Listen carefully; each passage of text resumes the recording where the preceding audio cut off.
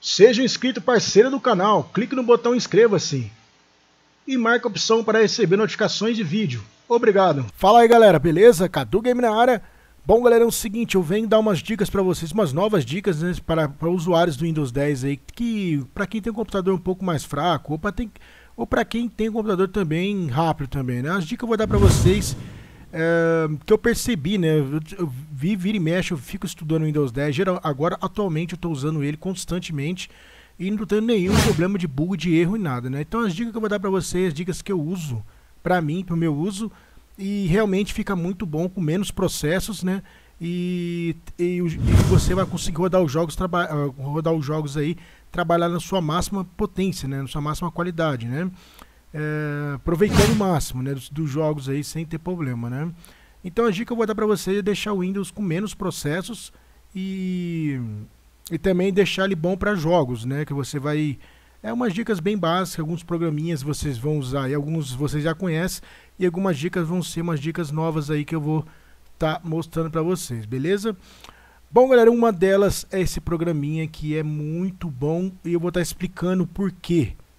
Para você que usa, deixa o Windows muito tempo ligado, uh, por exemplo, no caso meu que ele está ligado desde ontem, ficou, passou o dia inteiro.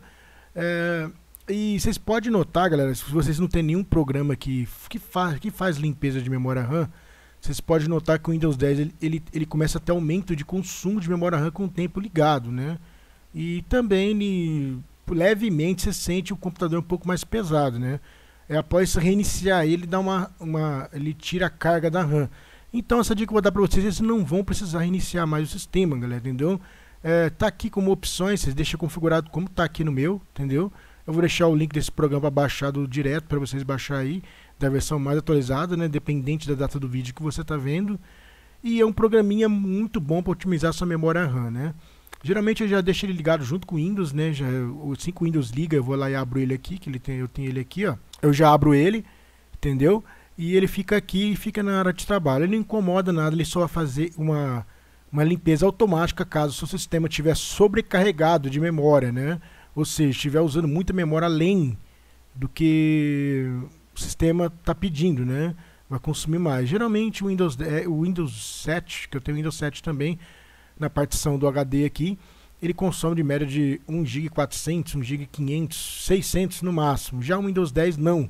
Mas geralmente o Windows 10 fica na faixa de 1800 a 2 GB de, de RAM. Né? Ele consome mais memória RAM por quê, galera? É uma dúvida que muita gente me pergunta nos comentários. Um fato real é o que? O Windows 7 ele não tem os aplicativos. Isso aqui fica ligado no, no gerenciador dispositivo. Está mostrando e provando para vocês que o Windows 10 ele consome mais memória RAM sim, porque ele tem mais funções, né? Ele é mais cheio de frescura, ele tem mais aplicativo, ele tem aplicativos, tem a Cortana, coisas que o Windows 7 não tem. Ou seja, ele tem menos processo no Windows 7 do que o Windows 10 tem muito mais processo, chega a ter de 10 a 15 mais processos, acarretando isso consumo maior de memória RAM, entendeu? Então isso é fato, galera. Então isso é fato mesmo. Então tá aqui, ó, com nenhum programa aberto nos seus programas base, né, que é o da e, e do NVIDIA Experience, né? E esse se eu fechasse o o, o Shadow Play, ele vai diminuir aqui em cerca de 7 a 6 processos, dando um total de 70. Geralmente fica 70 processos quando eu fecho totalmente o, o Shadow Play. O Shadow Play consome bastante, bastante processos Geralmente o Windows 10 fica com 70 processos. Já vi comentários dos meus inscritos aí, pra galera que me acompanha, falar que tem mais de 100 processos abertos, cara, no Windows 10. Então isso é uma loucura, velho. Então a dica que eu vou dar pra vocês, galera, é umas dicas manual e, e esses dois programinhos que vocês vão usar, que é o, que é o Razer, ele é muito bom não só para é, tirar os processos, mas também ele também ele ajusta uh, seus, o seu registro e vocês vêm clicar nessa aba ajustar aqui vai dar uma. A primeira vez que vocês for coisar, vocês vão clicar em otimizar. Eles vão otimizar, pedir para reiniciar o Windows. Reinicie e depois vocês vão dar um impulso. Né? Ele, vai, ele vai encerrar somente os processos que, que você não usa, né? Geralmente para jogar o Windows funciona perfeitamente e, e, ele encerra somente os processos que, que não vão atrapalhar o funcionamento do Windows, viu galera? Então o programa aí, para quem sabe, é muito simples. Eu vou deixar o link também para vocês baixarem na descrição do vídeo para facilitar vocês ficar pesquisando por aí, né? Ele tem outras funções que eu até desativei porque eu não uso, né? Mas caso vocês curtirem aí, que tem um game Gamecaster, acho que é assim que pronuncia. Vocês podem gravar, não sei como é que funciona isso aqui direitinho. Dependendo depois se vocês quiserem, vocês deixem nos comentários que eu faço um, um vídeo especial de como configurar tudo isso daqui para gravar e etc, etc. Entendeu? E, e ele é muito bom, galera. Ele, ele, ele realmente diminui em cerca de 7 a 8 a 10 processos quando você dá um impulso nele, né? Então isso daí ele, já, ele dá uma pequena ajuda é, para encerrar uns processos para quem não tem conhecimento, né? Geralmente eu tenho conhecimento, eu já sei como é que mexe lá, eu mesmo já encerro manualmente. Uma coisa que eu vou falar para vocês, galera, é que uma coisa que vocês vão perceber muito pouco, ou talvez ninguém, de, ou pouca gente deve saber disso, só para quem mexe mesmo. E vim aqui, ó, gerenciador de tarefas, né? Eles vão abrir ele aqui, o gerenciador de tarefas, vai aparecer desse jeito aqui, ó. Você pode ver que alguns, alguns serviços estão abertos, apesar de consumir quase nada de RAM, mas só que eh, conforme tem muitos processos abertos, ele, ele automaticamente sobrecarrega o Windows, né? Então você pode vir aqui e finalizar manualmente, ó, não tem problema nenhum. Entendeu? Igual eu estou fazendo aqui, ó. Eu tinha comentado com vocês um pouquinho antes, você lembra que eu falei para vocês do Shadow Play da NVIDIA, né? Então tudo isso daqui é processo dele. 1, 2, 3, 4, 5, 6 e 7, entendeu? Esse processo é tudo é do Shadow Play, né? Geralmente fica com 70 processos sem nada no Windows, só com o Windows mesmo, né? E, então é, é, é é, o, é o, a quantidade mínima, base dele, né? Já o Windows 7 não, galera. O Windows 7 sem nada, é, como eu expliquei aqui do Windows 10, ele consome 50 processos. Olha a diferença. Olha a diferença. Se você acha que não, se for, é, para quem formata, eu formato computador o dia inteiro, eu trabalho com isso, sou técnico informática, né? É, fica na média de, de 50, 55 processos aí. Na versão Ultimate, né, que eu não recomendo, o Ultimate só adiciona mais coisas que não são favoráveis, né? Eu recomendo sempre o, o Windows Professional, que é o Pro, é, o Windows 7 Professional, né? Ou é, o Professional é o melhorzinho que tem, ele não consome menos menos processos aí, é mais recomendado. Então, galera, vocês podem estar finalizando manualmente, entendeu? Isso aqui eu posso estar finalizando também. Deixa eu ver mais que eu posso ir aqui. No webcam, caso não for usar, posso encerrar caso for jogar algum jogo muito tempo. Depois eu abro lá pelo, pelo menu dele aqui, normal, depois abre de novo eu posso estar encerrando para ter o melhor desempenho na hora que eu for jogar um jogo, viu galera? Deixa eu ver aqui mais. Aqui, isso aqui também eu posso fechar. É, deixa eu ver aqui. Então tudo isso, esse aqui aba pesquisar também eu posso fechar. Vai diminuindo o processo, galera. Vocês vão coisando aqui, vão diminuindo, entendeu? Olha lá, ó.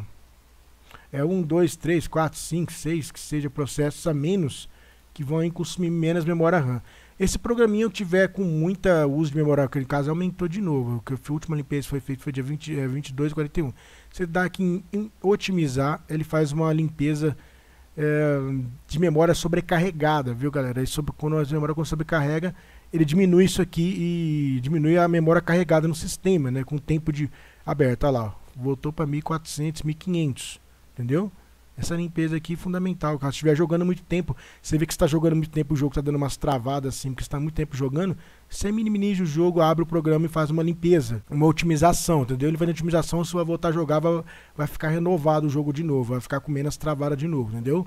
Isso independente da quantidade de RAM que você tem, galera. E sobrecarregar é, o sistema com acúmulo de memória não é legal, viu, galera? E os programinha básicos, o Clean, Cleaner, que você faz limpezas diárias aí, do uso de vestígios da internet de programas que acumula aí no, no HD, né? Então você faz limpeza de registro, limpeza de coisa, muito simples, é muito facinho de usar. E também eu deixo o link na descrição do vídeo você estar baixando ele. Então, galera, é, não instala muita coisa no Windows, porque quanto mais coisa vocês instalam, é, mais processos vai ter. Então, eu não recomendo isso, viu, galera? Eu tenho poucos programas. Um dos, a maioria desses programas aqui foi instalado no Windows 7.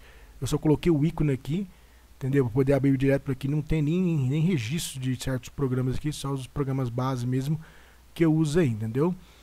E, e, esses aplicativos que geralmente a maioria eu não uso, mas eu deixo aqui, entendeu? Fica aqui já também usar aí. E agora que eu sei que esse processo, vou mostrar para vocês agora aqui, 74, entendeu? Desligando o Shadow Play, que consome de cerca de 6 a 7 processos, vai cair para 70, né? 72 agora, entendeu? Então, galera, é uma quantidade aí legal, entendeu? O uso de memória RAM tá legal também. E, e meu Windows 10, galera, e para quem acompanha o canal aí, eu tenho ele instalado desde quando é a versão da primeira versão que lançou oficial. É meu vídeo que tem mais visualizações no canal, tá aqui mais populares. Aqui, ativando o Windows 10, a versão a full é, tá aqui, ó, 30 de junho de 2015. Entendeu? De lá pra cá eu nunca tive problema, tive uns problemas assim dos bugs que teve do Windows 10, mas foi corrigindo com as atualizações, né? E até fiz vários vídeos recomendando o Windows 7, mas é bom sempre manter os dois, galera. Qual os dois melhor Windows? Use os dois, porque se um der problema, você tem o outro de reserva, né? Então você tem o conhecimento base aí, cria uma partição no HD e formate o Windows 7 Windows 10 para você ter os dois aí como opção, né? Caso um der problema, você tem o outro lá para poder salvar. Isso para quem tem muito jogo, muito programa, eu tenho muita coisa aqui, meus trabalhos que eu não tenho salvo nenhum, nenhum outro lugar, então eu não posso perder isso, então fica tudo é, fica, então por isso que eu tenho os dois Windows. Se der problema, é, eu abro o outro lá e faço backup rapidinho, salvo no, no, no arquivo de upload aí e recupero os arquivos, entendeu?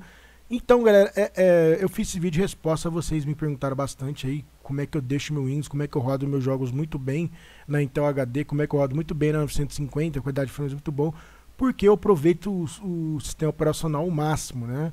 Ou seja, ele roda liso para poder rodar o jogo completamente livre, né? Sem nenhum tipo de, de problemas que interferem no desempenho do jogo, né? Então fica como digo para vocês aí, beleza? É, qualquer dúvida, sugestão, deixe nos comentários que a gente debater aí, sempre opiniões adversas aí, dicas são sempre bem-vindas, beleza? E é isso aí, não esqueça aquele like aí, favoritar, compartilhar aí com a galera aí. E se gostar do trabalho, se inscreva no canal, beleza? Agradeço aí, valeu, até mais, até o próximo vídeo aí e foi!